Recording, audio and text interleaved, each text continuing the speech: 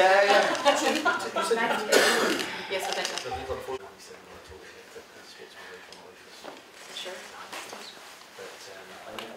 I can only take that from what is being said. Both the British government and others are saying that uh, we're at the final stages. So if that's the case, then it's the time for a decision to be made.